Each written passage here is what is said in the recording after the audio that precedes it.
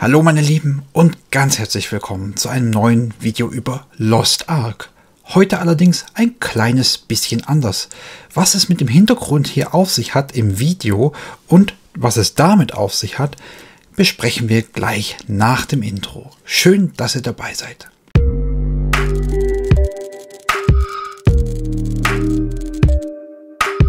Wir schauen uns heute eine mega PvP-Schlacht an. Das sind 48 gegen 48 Spieler. Ja, in Lost Ark. Dieses Feature ist in Südkorea momentan in Entwicklung und wird aller Voraussicht nach auch zu uns in den Westen kommen.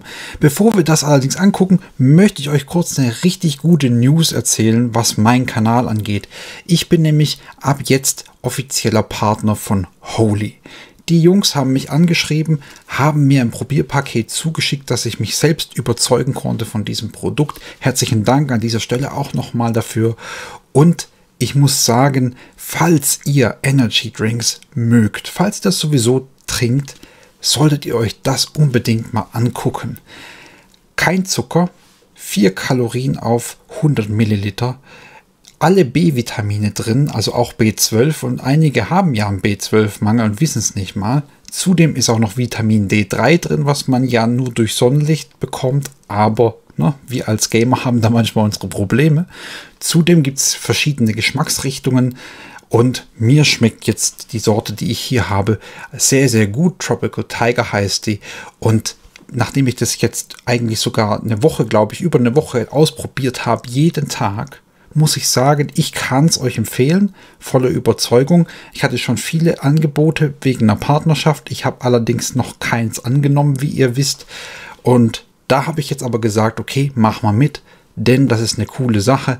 Wer Energy Drinks mag, Guckt gerne unten in die Videobeschreibung unten rein, da gibt es einen Link und den Relics-Code, mit dem bekommt ihr erstmalig 5 Euro Rabatt auf eure erste Bestellung. Probierpaket sehr zu empfehlen, da könnt ihr alle Sorten mal durchprobieren. Ihr mischt das einfach kurz zusammen, shakert das durch und dann trinken und durchstarten. Für mich wirklich eine gute Sache. Hält wirklich lange und hält auch, was es verspricht. Man bleibt wirklich länger wach dadurch und hat seine Freude beim Zocken. Und zudem hat man alle möglichen positiven Effekte, aber mit natürlichen Inhaltsstoffen. In diesem Sinne starten wir jetzt durch mit dem Video über Lost Ark. Das ist das Intro, also quasi das, das Match wurde schon zusammengestellt und jetzt ist quasi es am Start, dass es hier losgeht. Ihr seht, das ist in Südkoreanisch. Und das ist jetzt natürlich in 21 zu 9 Ne? Und ihr seht, die sammeln sich jetzt alle. Ich werde euch nicht das komplette Video jetzt hier zeigen, sondern ich werde einen Zusammenschnitt machen von den Highlights, damit ihr natürlich nicht davon gelangweilt seid. Um euch kurz ein paar Features auch dazu zu nennen, das ist 48 gegen 48 Spieler, wie schon angekündigt. Und es geht hier um den PvP-Kontinent Rowan, der da in Entwicklung ist in Südkorea momentan. Ob wir das schon 2022 bekommen, ich würde jetzt vermuten, wahrscheinlich noch nicht ich schätze wahrscheinlich, das ist was für Anfang nächstes Jahr. Diese Matches sind äh, 18 Minuten lang und ihr seht auch, und das ist wichtig hier an der Stelle und vielleicht für viele auch noch ein Knackpunkt, besonders für mich eigentlich auch. Ihr seht, hier wird der Gearscore angegeben in dieser Übersicht. Und das heißt, dass euer Item-Level hier eine Rolle spielt. Es ist also hier kein normalisiertes PvP wie in der PvP-Arena, sondern auch mit Item-Level und ihr könnt auch die Battle-Items, also die Konsumgegenstände, diese Granaten und so weiter im Kampf benutzen. Das sollte man hier auf jeden Fall auf dem Schirm haben. Ich weiß nicht, ob wir da vielleicht schon darauf hinwirken können, dass wenn es zu uns kommt, dass das auch normalisiert wird. Ich fände es besser. Aber wie bei uns im Westen ist ja auch schon die Gilde versus Gilde im Krieg auch so mit Item-Level und Konsumgegenständen. Deswegen mal schauen, ob sich da was ändert. Wir werden sehen. Ziel ist es auf jeden Fall hier, dass man acht Kontrollpunkte auf der ganzen Karte hat und als Team so viele wie möglich davon einnehmen und kontrollieren sollte. Denn man bekommt alle drei Minuten für jeden gehaltenen Punkt 5% Fortschritt. Und die erste Partei, die bei 100% ankommt, hat gewonnen. Es geht hier also nicht darum, einander so häufig wie möglich zu killen, sondern diese Punkte zu halten, was der ganzen Sache eine strategische Note gibt, was ich gut finde. Was ihr hier auch gut sehen könnt, ist, dass die ganzen Spieler bis auf die Waffen, sage ich jetzt mal, eigentlich relativ ähm, wie soll ich sagen, alle in eine Rüstung gepackt sind. Die sehen alle relativ gleich aus und das liegt daran, dass sie natürlich bei solchen großen Schlachten mit so vielen Effekten und mit so vielen echten Spielern auf dem Bildschirm Probleme haben mit der Performance. Also zumindest wenn es jetzt noch in der Entwicklung ist, werden sie da wahrscheinlich das auch so belassen, um die Performance nicht überzustrapazieren. Und Vielleicht ändert sich das auch noch im Laufe der Zeit, dass dann wirklich auch noch die echte Rüstung, die man gerade trägt, dass die auch angezeigt wird. So, und der Start beginnt. Ihr seht es oben am Timer. Ne? Gleich sind es noch 10 Sekunden und dann geht die ganze Aktion los. Da werdet ihr auch noch sehen, also wenn ihr auf die Map guckt, über mir direkt auf die Minimap, dann werdet ihr sehen, dass da Kanonen sind. Und das sind äh, solche Tools, denen man sich bedienen kann bei dieser Schlacht, um ein bisschen Vorteile für sich zu erringen. Man kann also bestimmte Items auf dem Spielfeld benutzen, um besser dazustehen. Und soweit ich gesehen habe, gibt es auch irgend so eine Möglichkeit, sich zu verwandeln in eine äh, Kreatur, die stärker ist, aber nur für eine gewisse Zeit und dann auch mehr Schaden anrichtet bei den Feinden für eine gewisse Zeit. Ich weiß nicht mehr genau, wovon das abhängig ist, aber jetzt seht ihr, das ist schon, das wird ein richtig schönes, großes Gemetzel. Und natürlich ist man da besser dran, wenn man möglichst viel die Effekte reduziert in den Game-Einstellungen. Sonst wird das, glaube ich, schnell unübersichtlich, das Ganze. Ihr seht jetzt oben, ne, 1, 2, 4, 5 gehört gerade Team Blau, 3, 6, 7 gehört Team Rot und 8 ist noch nicht eingenommen von keiner der beiden Parteien. Seht auch, der Timer läuft runter, es sind noch 16,55 gerade. Und ihr seht jetzt auch, dass hier ein Timer runterläuft, wenn man gekillt wurde, dass man wieder auferstehen kann. Ne? Am Anfang, wo alles begonnen hat. Und dann natürlich wieder in die Schlacht zieht. Hier seht ihr auch kurz die Minimap offen. Sehr interessant, hier die Punkte zu sehen, wie die verteilt sind. Na, links und rechts starten die beiden, also blau und rot. Blau startet links, rot startet rechts, ganz rechts. Und dieser Punkt 8, ihr seht, der Punkt 8 ist unten, ganz unten im Süden und der ist grau. Und ich weiß nicht, wie man dorthin kommt. Das sieht auch noch interessant aus. Ihr seht auch links quasi, dass es immer Vierergruppen sind. Also das Ganze aus zwölf Viererteams besteht sozusagen. Jetzt sehen wir diesen Kanonenmodus. Sehr schön.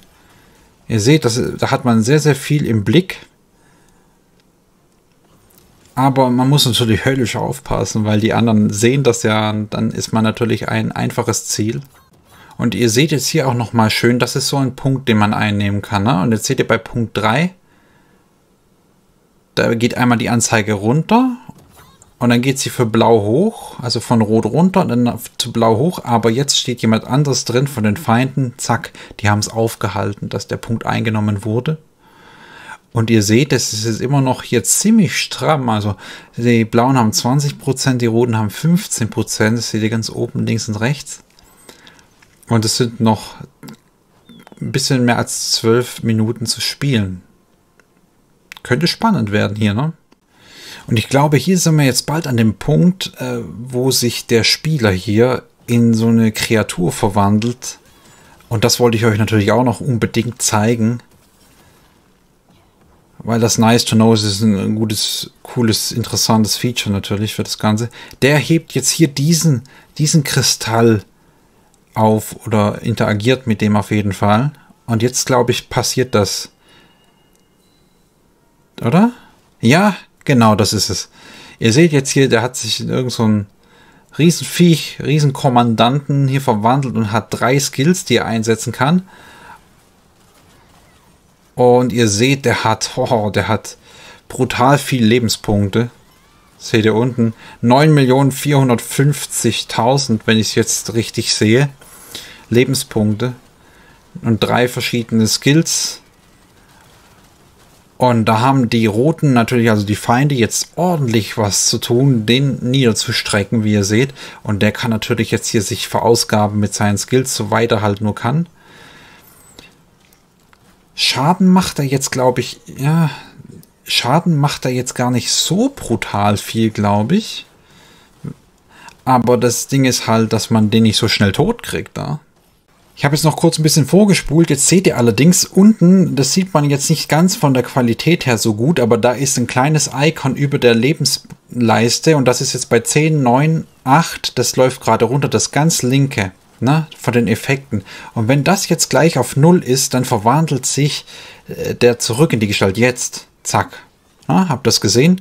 Das heißt, ähm, die Feinde müssen ihn nicht kaputt hauen in, der, in dieser starken Form, sondern sie müssen auch vielleicht es einfach nur über die Runden bekommen, dass der Timer abläuft und dann die Verwandlung wieder rückgängig gemacht wird automatisch. Das ist natürlich auch okay. Das ist natürlich auch gut, weil sonst kann man es eventuell verdammt schwer haben. Ne? So, wir sind fast am Ende von diesem Match. Ne? Team Blau liegt vorne mit 90% und ihr seht jetzt auch, da ist so eine Portalanzeige hier auf der Map, wie man darüber kommt zu dem Punkt 8 und es scheint so zu sein. Da läuft jetzt auch ein Timer runter. Wie ihr seht, oben in der Leiste ganz rechts mit diesem Helm, da ist es bei 30 Sekunden gleich und die kämpfen jetzt hier um diesen Punkt, wie es aussieht. Es geht jetzt um diesen Punkt 8 aber die Frage ist, oder die interessante Sache ist, was ist dieser ausgegraute Ritterhelm hier, der jetzt runterläuft?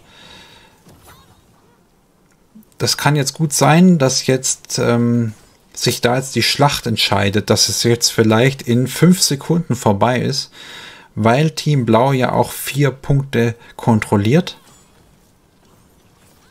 Jetzt leuchtet dieses Ritterkopf-Symbol auf. Und jetzt tickt die Uhr.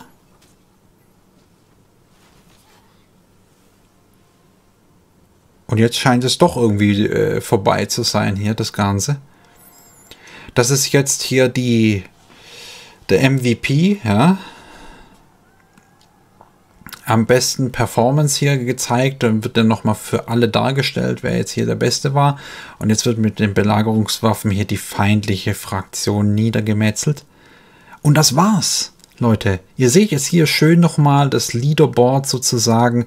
Seht, wer wie viel Tode hatte, wer wie viele Leute gekillt hat.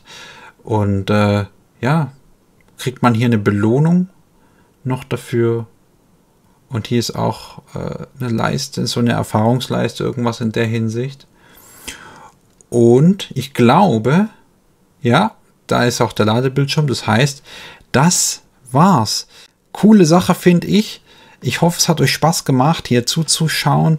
Und ich würde mich sehr darüber freuen, natürlich von euch in den Kommentaren zu lesen, ob ihr euch auf dieses Feature freut, ob ihr dabei mitmachen würdet und was ihr jetzt hier dazu denkt, dass das nicht normalisiertes PvP ist. Würdet ihr euch das normalisiert wünschen oder findet ihr das okay, dass es jetzt in der Hinsicht dass es mit dem Item-Level relevant ist und mit den äh, Konsumgegenständen, dass man die auch einsetzen kann. Bin gespannt über eure Meinung. Ansonsten danke ich euch ganz herzlich fürs Zuschauen. Hoffe, es hat euch Spaß gemacht und dass wir uns bei einem anderen Video bald auch wiedersehen.